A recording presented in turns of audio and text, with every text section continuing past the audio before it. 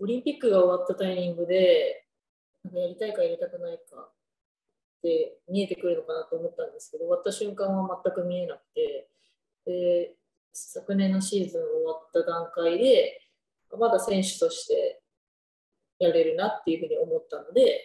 続けたんですけど、今年に入って、もう選手として結果を、突き抜けた結果が出せなく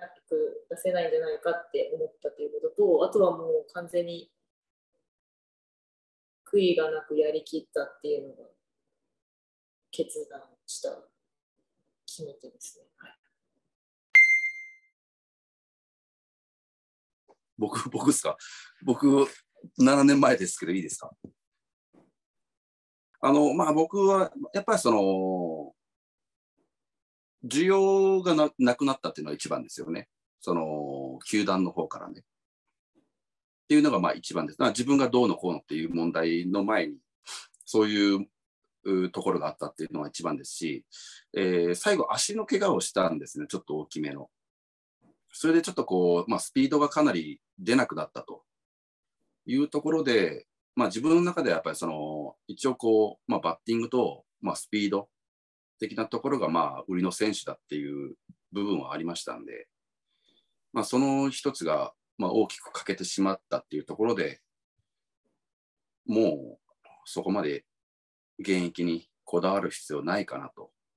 いうふうに思いましたね。なので、ね、プロ野球にこだわらなければ何かこう別のところでっていう道もあったかもしれないですけども、あのそういうのはもう思いませんでしたね。もう自分が思い描いたプレー、やりたいプレーとも程遠いプレーしかできない自分になっていってしまうのがもう辛すぎたというか、なんかそういう感じですかね。なので、まあ、結構早い段階でしたけども、引退しましたね、僕は。30、33か、32、3の頃ですからね。実際そのバッティングだけに関しては、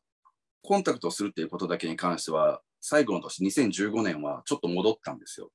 実は。ただ、今言った通り、足の大きな怪我をしてしまって、もう打ったらそのままこう、足引きずって一塁まで行って、みたいな。で、体操で、みたいな感じでファームで暮らしてたんで、まあ、それで野球続ける質、あの、あれあんのかなっていうところもあって、まあ、引退を決めましたね。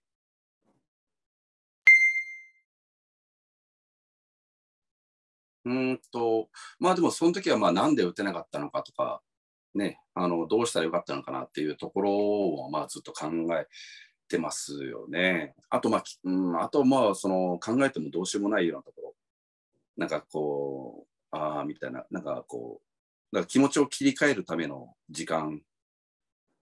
うん、でしたかね。やっぱり次の日にはもうあのある程度気持ち切り替えていかないといけないんで、まあ、そのための時間が必要なくらいメンタルにダメージを負う試合っていうのはやっぱりありましたよ。だからそういう時はあのちょっとあの生命反応が出てなかったかもしれないですね、部屋の中でね。ちょっとね、電気消えましたね、確かに。あそこまで絶望的になったことはないんですけど、まあ、でもやっぱり打てないことが悔しいので、試合の中でなんかヒット1本じゃ許せなかったんですよ、若い時って。20代は。最低でもま2の1か3の2とかそれ以上じゃないと嫌だったので、それができなかった時は、なんか自分にうなだれてたというか、自分に腹が立ってました。それを、まあ、すぐに抑えることはやっぱ20代はできてなかったかなと思いますね。なので、すごい自分に苛立ちを、まあ、イライラして、でも、そこを引きずってはいけないので、次の日、まあそうですね、その前日には夜スイングをするんですけど、それまでにはもうしっかりと切り替えるようにはしてました。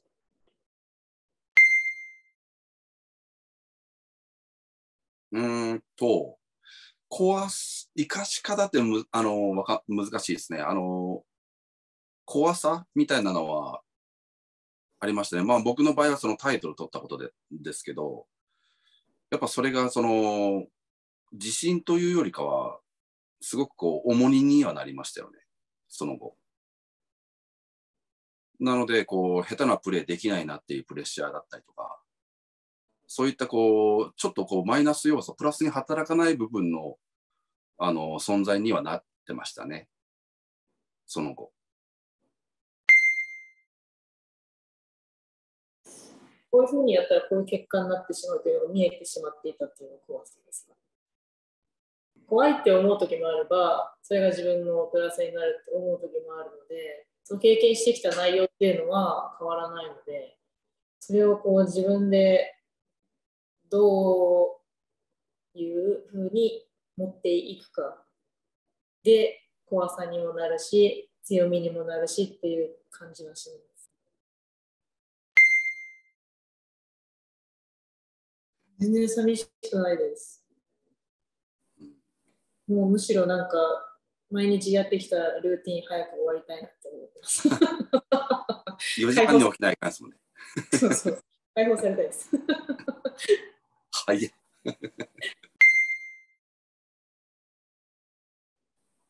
なんか特別何をしようっていうのはなく、やっぱり自分のプレーを出し切ることで、あの見てくださる方々に何か伝わるのかなと思うので、変に最後だからっていうふうには思わずに普通にやろうかなと思ってます。ああ、いや、でも、あの、あれです。あの、現役お疲れ様でした。ありがとうございます21年はい。ですよね。高卒で僕の一つ下な、そうですよね。いや、長い間お疲れ様でした。こうやってこう、お話しするのは初めてですけど、テレビでこう、ね、オリンピックの時を中心に、あの、よくこう、拝見してましたし、まあ同じこう、左打ちの外野手、外野手として、結構あの、注目というか、あの、興味深く見させて、えーおりました、実は。はい。なので、あの僕なんか全然あのすごい選手で恐縮なんですけども、こうやってあの機会いただいて、あのお話、えーできて、すごくこう恐縮ですし、光栄でした。あのよかったらあのツイッターとインスタフォローしますんで、あのよろしくお願いします。なんかその共通点が結構あったのがすごく嬉しかったです。その一応選手のことだったりとか、ルーティンだったりとか、あんまりこう、ルーティンで同じ人ってあまり出会わないので、そういう共通点が、まあすごい方と同じ共通点を持てるっていうのはすごく嬉しいことなので、私もツイッターとインスタをフォローさせていただきます あれ、これ、えっと、今後ってなんか決決まってるんですか？コーチになれたり、